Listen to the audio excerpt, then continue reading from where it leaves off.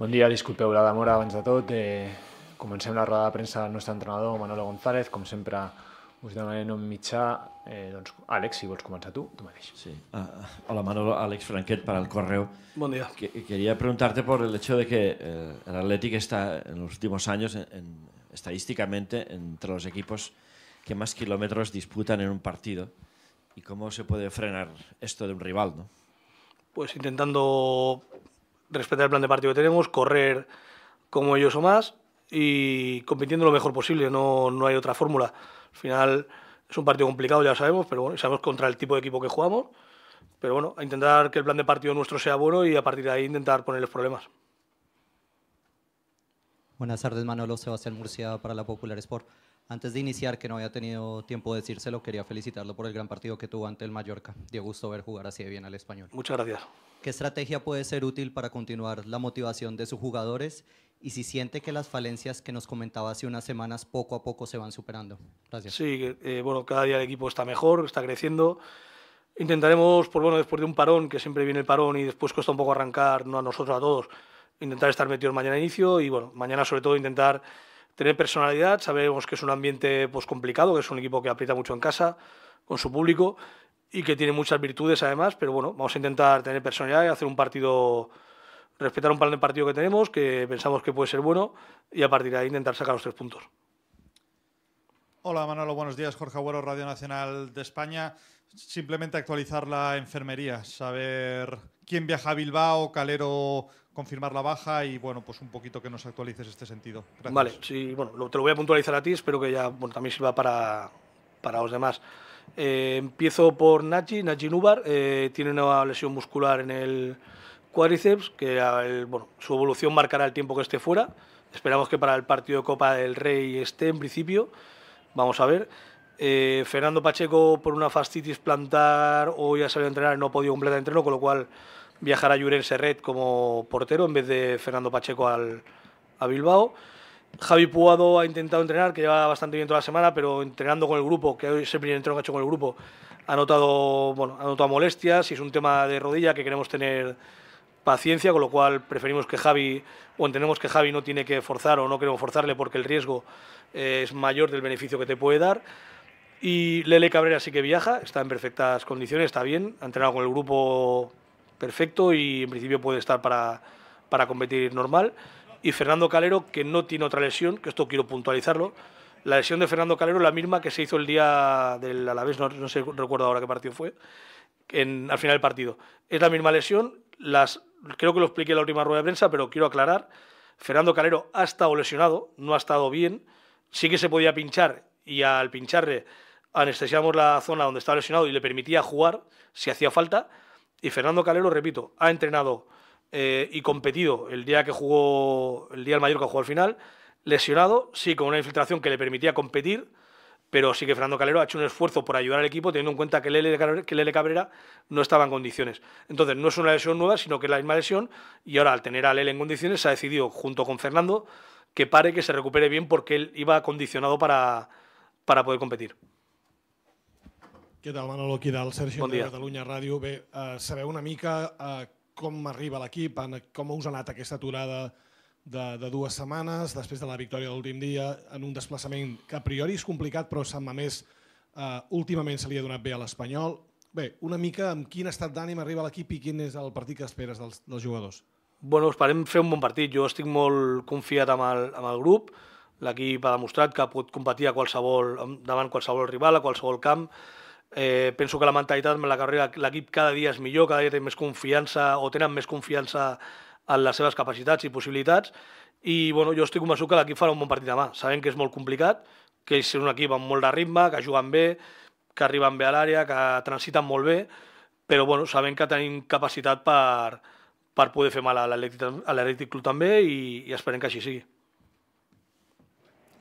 Hola, entrenador, ¿qué tal? Buenos días. Buenos días, Kiki. Kiki Iglesias, Cadena COPE. Eh, un partido especial, ¿no? También eh, gran rival, gran escenario, gran entrenador, conocido por todos. Eh, es un partido grande, es decir, es, es, gran ocasión, partido grande para dar ese paso de, de, de, de lograr un, un, un, gran resultado que confirme la buena racha. Sí, para mí todos los partidos lo son. ¿eh? Para mí todos los partidos son grandes, son partidos con una dificultad, cada uno con sus características, cada uno con sus virtudes y sus defectos. Y es un partido con escenario, pues que bueno, que el ambiente sabemos cuál es el ambiente de Bilbao. Es, es un ambiente duro, complicado, que el rival aprieta y, y empuja. Pero repito, somos capaces de competir al nivel de, al nivel del Metropolitano, al nivel del Bernabéu hasta el minuto 70 y largos, ya más por cansancio, más por errores puntuales, y, competir como el día del Villamarín, pero con más llegada. Nosotros sabemos que mañana tenemos que tener llegada, tenemos que amenazar al rival, y en eso hemos estado enfocados todo, todo toda la semana, todo el paro, los 15 días, enfocados en mejorar a nivel ofensivo aún más, a nivel defensivo a mejorar, evitar transiciones, y bueno, creemos que el equipo está capacitado para hacer un buen partido mañana. Y luego la segunda y última por mi parte, te pregunto por la posición de 9, sin querer que me desvele si juega Beliz o si juega Kedira, me da igual en el fondo. Eh, el hecho de que ellos estén metiendo pocos goles o casi ninguno y que tampoco tengan eh, ocasiones, el 9 en este caso, ¿eh? ¿te preocupa eso? No, al final yo siempre digo que son dinámicas. Todo el tema del, el tema del gol muchas veces son, son cuestión de dinámicas, cuestión de como te diría, de a veces de acierto. Al final eh, es complicado que tú tengas 10 ocasiones de gol en un partido en primera división. Es una cosa, o que un jugador las tenga. Eso es raro, pasa en equipos puntuales. Entonces, pues bueno, sabemos que están trabajando bien, que hacen faena para el equipo y al final también es una cuestión de adaptación al juego del equipo, a la liga, que al final la liga no tiene nada que ver. De hecho, Cardona nos lo dice, no tiene nada que ver con la liga francesa, ni con la italiana, ni con la, ni con la Premier. Al final, pues bueno, todo tiene su adaptación estamos contentos con ellos, con su trabajo y, estoy seguro que van a acabar metiendo goles. Hola Manolo, Juan Asensio de Pericos en Radio Marca. Tengo un par de preguntas. El otro día, eh, ante el Mallorca, vimos un español eh, muy valiente a la hora de, presionar en campo contrario, que recuperaba alto. ¿Esto se puede trasladar a un escenario como San Mamés, de la exigencia de, un rival como el Athletic Club, o en un partido así se prioriza más ser prudente? No, nosotros vamos a intentar apretar siempre. Hay veces que el rival no te deja, aunque tú quieras, pues porque, porque son buenos, porque tú no llegas bien a las presiones, porque cada partido es diferente, no tiene que ver que jueguen en casa o fuera, ¿eh? sino cómo entras tú al partido. Nosotros vamos a intentar serlo siempre, ser valiente siempre, intentar apretar alto. Lo que te digo, que a veces el rival te condiciona y no te deja. El, por ejemplo, al Madrid, aunque la veces le aprietes, te puede ser una, o al Atlético Madrid te puede ser una presión porque tiene nivel. Entonces, pues bueno, sobre todo lo que queremos es evitar riesgos innecesarios, pero sí que vamos a intentar eh, pues, robar lo más arriba posible que podamos también. Y la segunda, de los últimos partidos ha consolidado en, el 11 ese tribote en el medio campo con Grajera, Poli y Alex Kral. Eh, no sé, eh, ¿qué te gusta de, esa combinación y qué le aporta al equipo pues, que jueguen los tres juntos por, por dentro? Lo que me gusta es que nos da orden, nos, nos, hacen respetar el plan de partido, que al final también estamos decantándonos un poco porque eh, que el jugador tenga claro el plan de partido, que se coloque en el sitio, porque al final, por la manera de entender el fútbol nuestra, la colocación es la que te da el juego ya cuando tú no tienes, ¿cómo te diría? Aunque tú no tengas una salida balón net, eh, pulida, por decir algo, saber que un jugador está colocado en un sitio determinado te da que tú tengas superioridades en una zona y te da que el balón sepas que puede entrar ahí. Entonces lo que estamos buscando con esto es que el equipo a nivel defensivo tenga orden en la presión y a nivel ofensivo respeten el plan de colocación que se marca en cada partido, porque cada partido es diferente, aunque la colocación parezca la misma, orientamos cada, día la salida de balón o, o el ataque a donde el rival se repiten unos comportamientos donde le puedes hacer daño. ¿Qué tal, Manolo? Buenos días, Carlos Fano del 1900. Tenía un par de preguntas. La primera de ellas, un poco relacionada con la, con la pregunta que te ha hecho el compañero, el compañero de la Popular. Eh, es que hace semanas que vienes hablando de, ese miedo a fallar, ¿no? Eh, has tenido dos semanas para trabajarlo. ¿Crees que se ha dado un paso adelante en ello?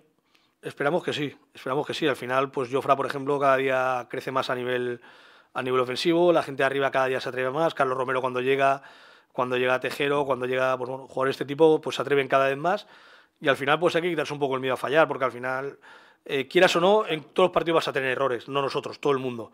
Entonces, si tienes miedo a, fallar y por eso no intentas uno contra uno o no intentas o tirar un pase de gol, aunque se vaya a saque de puerta o, o el rival lo corte, vas a poder atacar poco al rival. Estamos diciendo mucho en eso porque es necesario que le hagamos daño. No meter el balón en tres cuartos, meter el balón en tres cuartos está muy bien, es difícil, pero necesitamos dar un pasito más adelante en el juego y el equipo ya lo, lo está empezando a dar. Y en relación a ello, eh, a domicilio solo, solo es un gol en, en cuatro partidos. Eh, sí que es verdad que se tiene que dar un pasito adelante a nivel ofensivo, como estás, como estás diciendo. Supongo que se ha incidido y se va con esa idea Bilbao. Sí, al final es un tanto engañoso, creo yo, porque ha habido partidos que hemos tenido situaciones y después hemos tenido tres escenarios complicados. El día de Valladolid ya he dicho siempre que el partido, esa primera parte junto a la de Andorra el año pasado fueron las peores desde que soy entrenador de español, pero después esa segunda parte sí tienes ocasiones. El Metropolitano ellos tienen, tú también tienes. En Campo del Madrid tienes alguna también. Bueno, al final vas a Campo del Atlético Madrid, a Campo del Madrid, a Campo del Betis, que son campos complicados. Que por eso a veces extrapolamos el rendimiento fuera, pero si analizas un poco los partidos que son, pues también tienen cierta, cierta lógica, por decir algo. Que no quiere decir que ahí no puedes ganar, que tienes que ir a ganar en todos lados, ¿eh? pero tiene un poquito de explicación. Pero sí que es verdad que necesitamos un poco fuera de casa tener la valentía del equipo en casa, que está metiendo dos goles, tres goles, y bueno, el equipo en casa sí que está a un nivel ofensivo bueno. A ti, Carlos. Inmaculada. Hola Manolo, Imma Casares de TV3. Una mica al fil del que deies, eh, guanyar fora de casa, a banda de la signatura pendent, eh, seria, comença ja a ser una urgència? No. Jo penso que és una urgència guanyar sempre, no guanyar fora. Torno a dir que guanyar fora, més que perquè guanyar fora és pel tipus de partit que és demà, que és un partit que ens reforçaria a nivell, a nivell mental a dir que has guanyat un canvi important contra un rival important. Però, però bueno, d'altra banda, jo em quedo més amb les sensacions de l'equip que amb la qüestió de guanyar exclusivament. A millor si guanyem al camp del Betis 0-1 i et xuten 20 vegades, eh, 20, eh, foten 5 pals i t'han fotut un repàs, a millor has guanyat i és preocupant. Penso que a camp del Betis l'equip va competir, a camp del Madrid gran part del partit vam competir i a camp del Metropol de l'Atlètic Madrid l'equip va treure un punt important. Gràcies. Merci. Bon dia, Manolo. Arnau Vila, de BTV. Una pregunta. Uh, és referent a l'Atlètic Club. Sembla que recuperen en Nico Williams. És un dels jugadors segurament més importants que té aquest equip. Heu plantejeu el partit diferent en funció de si juga o si no juga? No. No, hi ha partits que han jugat i ells han tingut uh, potencial ofensiu igual. No, bueno, em preocupa que jugui perquè és un bon jugador, però al final ells tenen jugadors com Berenguer, com Iñaki, com Guruceta, tenen bastants jugadors que poden jugar allà dalt, Sancet, que no estarà, en principi, sembla que no estarà, eh, que tenen potencial per jugar i per fer mal. Llavors, ja et dic, no... mai condicionem el partit a un jugador. Sí que parlem dels jugadors individualment, el de fet fem vídeos individuals dels jugadors per als nostres, però, però no condicionem el partit a un jugador mai. I després, una segona, has comentat que l'Atlètic Club segurament no us deixarà jugar el que voleu, llavors jo volia saber si és aquest... He comentat això jo? No, no, Crec que no, eh? No, no, perdona, no, com, com que l'Atlètic Club és que t'apreta, que no et deixa... O sigui, de... T'apreten tots, al final. Si és d'aquests partits que, que es plantegen des de voler ser el protagonista o, o esperes ser una mica reactiu en funció de, del que facin ells? No, nosaltres hem plantejat el partit per fer el nostre partit, intentant fer mal al rival on pensem que els podem fer mal, i intentant que ells on són bons no, no es facin mal. El que jo he dit abans, que és un ambient que condiciona i que és important tenir personalitat demà, que és el que ha incidit tota la setmana i que després, al final, tu entrenant ho pots fer, però t'has de trobar el partit. Però, però d'altra banda, és un partit que penso que, que, bueno, que si som capaços d'entendre de, de, bé el joc i entendre el partit, tenim capacitat per guanyar demà a Bilbao. Alguna pregunta més? No? Molt bé, moltes gràcies. Gràcies a tots, bon, bon dia. dia.